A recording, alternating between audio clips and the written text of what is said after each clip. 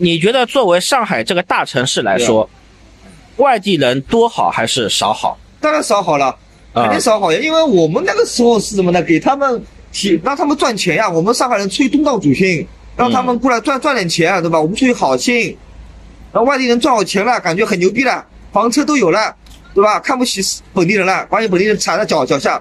说起来说，没有我们外地人过来建设上海，上海哪有这么繁华？呃，你你这句话怎么反驳呢？他们你觉得他们说的这句话对还是不对？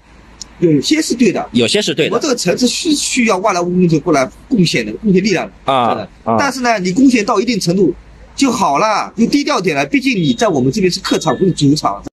除非是在他们主场老家，都得比老老走啊。到上海来就应该夹着尾巴做人啊，这样的，对吧？像像我如果去苏州打工，我也夹着尾巴做人的呀。我去苏州的时候，别人也也也也指手画脚的，哎呦，跟上海人喏，跟上海人喏，啊，可不想这样，啊这都一样的，这样的。嗯我是一一句话都不说的，嗯像如果之前我在那个电商那那边，我也被一帮人安徽人骂骂过的呀，我就做的晚，做做做好的，叫他们快一点，对吧？快一点，因为订单要出去要出库了，这样的。嗯后来被他们一帮子骑手都是安徽人，跑到仓库里来指着我骂，要命了！我想这还了得了，还要命了，我又反驳不不了这样的。所以说外地人，我现在是什么呢？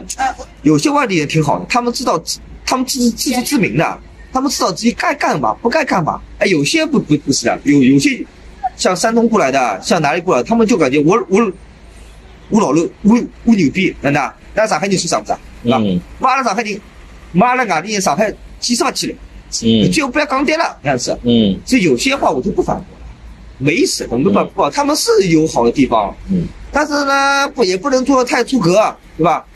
我们本地人就是你出格了，我们要说了；你不出格，大家都是兄弟，都是自家兄弟，这样。就是你觉得是啊。有个别外地人还是个别个还是应该低调一点，对吧？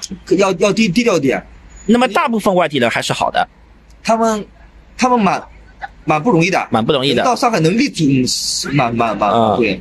有些人到上海能立足，有些人到上海而且能买房、结婚、生子，在上海生活这也就更不容易了，对吧？这个这个压力很大的。嗯。给你透露个细节，现在很多外地的可能或许因为上海赚不到钱，嗯。没法付不出房租，日常开销也很艰难，甚至也学我们本地的开始啃老，这样是吗？问问爹妈要要钱，问爹妈跟他吓一跳，你去上海赚钱，怎么还要家里钱啊？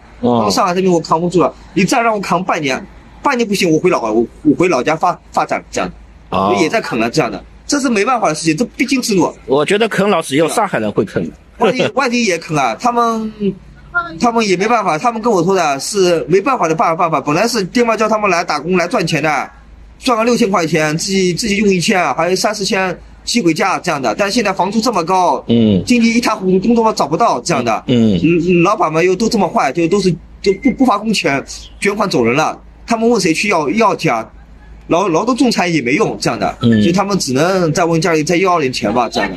但他爹妈吓一跳，要命了，那你还回来吧，对吧？一开始不是这个样子的，所以我现在就劝有些就是说外来务工者，如果你们扛不住，真的扛不住的话，就还是回老家发展吧。我不是赶你们走，魔都这两个字，不是我们理解成纸醉金迷。魔都这两个字很恐怖的，不要过来试试这个水深不深，不要过来试一试。上海上海经不起你试的，真的。你有实力，上海是一个有实力的人才能待的地方。